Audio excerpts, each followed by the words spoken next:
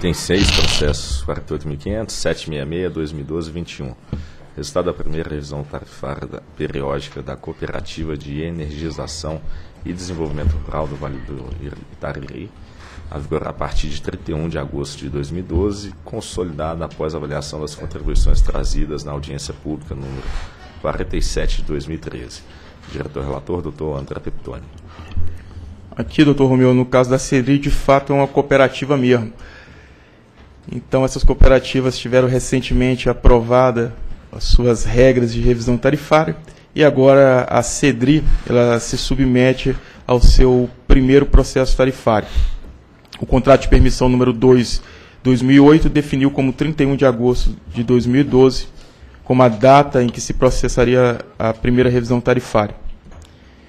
E diante disso, na de- 18ª reunião pública de 2013, realizada em 21 de maio, a diretoria da ANEL decidiu instaurar a audiência pública 47 por intercâmbio documental de 23 de maio a 21 de junho de 2013, com vistas a obter subsídios e informações adicionais para o aprimoramento da proposta referente à primeira revisão tarifária da CEDRI, que vai vigorar retroativamente a partir de 31 de agosto de 2012, isso devido às regras terem sido aprovadas recentemente e tendo sido julgados também os recursos.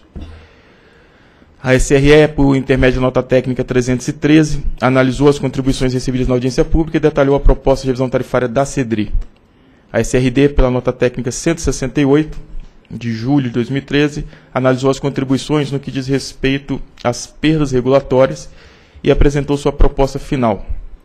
E a Procuradoria da ANEL conheceu da minuta de resolução homologatória, referendou o relatório, passo à fundamentação. A revisão tarifária periódica das permissionárias consiste essencialmente no cálculo do fator X e do reposicionamento tarifário, conforme determina o contrato de permissão número 2 2008. E o fator X a ser considerado nos reajustes da CEDRI até a próxima revisão tarifária é de 1,15%. Temos um componente PD de 1,15 e o componente T de 0.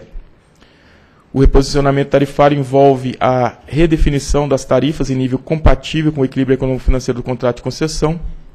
E no reposicionamento, esse equilíbrio da concessão ocorre pelo ajuste das tarifas homologadas no último reajuste tarifário, para mais ou para menos, considerando a relação entre receita requerida e a receita verificada. E a receita requerida corresponde à receita compatível com a cobertura dos custos operacionais eficientes e com um retorno adequado para o capital prudentemente investido. E tal receita é composta pela soma da parcela A e da parcela B, de tal sorte que a, o reposicionamento tarifário da CEDRI é de 7,16%. No que diz respeito à parcela A, para atender à Resolução 554 de 2013, a apuração da parcela A foi realizada para preservar a mesma proporção desta na receita requerida no processo tarifário anterior, que foi de 2011. E ao refletir essa proporção na receita, em 2012, o efeito de crescimento do mercado verificado entre 11 e 12 foi capturado e refletido literalmente no custo da energia, da demanda e dos encargos tarifários. Também nos termos da Resolução Normativa 554 de 2013, não será definido o nível de desconto de TURS de tarifa de energia a ser observado ao longo do primeiro ciclo, o que deverá ocorrer no primeiro reajuste, não postergado posterior à homologação dos resultados da revisão tarifária da CEDRI. O limite de perdas regulatórias admissíveis é um valor fixo, definido para todo o ciclo de revisão tarifária, obtido com base no histórico das perdas de energia verificada e na avaliação das perdas de energia da permissionária. E pela nota técnica 168, a SRD, considerando que as perdas globais da CDI foram definidas como o valor resultante do procedimento simplificado de cálculo, isso está aderente ao regulamentado no módulo 7 do PRODIST, tendo em vista que a, concession... que a permissionária ela optou por não encaminhar as informações para o cálculo, mesmo é, sendo o valor de referência de perda de regulatórias inferior que o mínimo montante histórico das perdas no período 9 a 11. Então, dessa forma, o valor de referência de perdas regulatórias calculado para a CEDRI deverá ser de 11,71% das perdas da distribuição, técnicas e não técnicas, em relação à energia injetada na, na média tensão.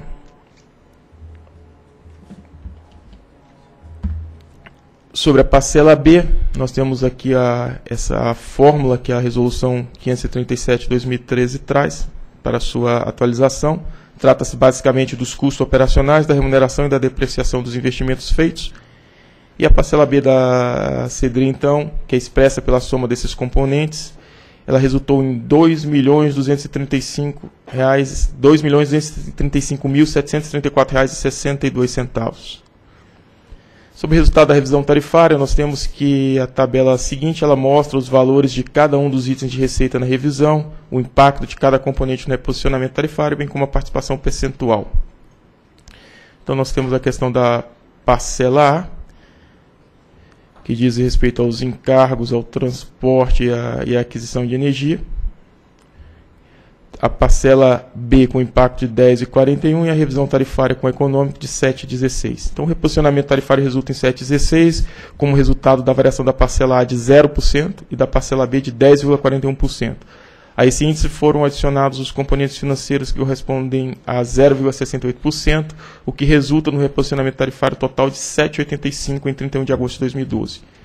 O componente financeiro considerado no cálculo da revisão tarifária consiste apenas no reconhecimento de custos com a implementação do Manual de Controle Patrimonial do Setor Elétrico, considerado em caráter provisório e pendente de fiscalização da SFF. A neutralidade de encargos tarifários deverá ser apurada de maneira consolidada em 2011, 2012, 2012 2013, por ocasião do reajuste tarifário de 2013 por conveniência metodológica. E nota-se que a parcela B apresenta aumento de 10,41% em relação ao verificado no reajuste anterior. O gráfico apresenta essa variação de parcela A e parcela B, considerando o período de 2011, 2012 e agora com a, o exercício da revisão. E o gráfico 2 mostra a proporção observada entre parcela A e parcela B na receita requerida. Então nós temos aqui no reajuste 2011 e no resultado agora com a revisão tarifária. A partir de tal análise das considerações apresentadas no processo 48.500.00.766-2012, dígito 21, voto por homologar a revisão tarifária da Cooperativa de Energiação e Desenvolvimento Rural do Vale do Itariri, CEDRI, em 7,85%, bem como o valor de referência de perdas regulatórias de 11,71% em relação à energia injetada medida. É o voto. Em discussão. Em votação. Voto com o relator. Também voto com o relator. Proclamo que a diretoria decidiu por homologar a revisão tarifária da Cooperativa de Energização e Desenvolvimento Rural do Vale do Itariri, CEDRI, em 7,85%, bem como o referencial de perda regulatória de 11,71% em relação à energia injetada. Próximo item.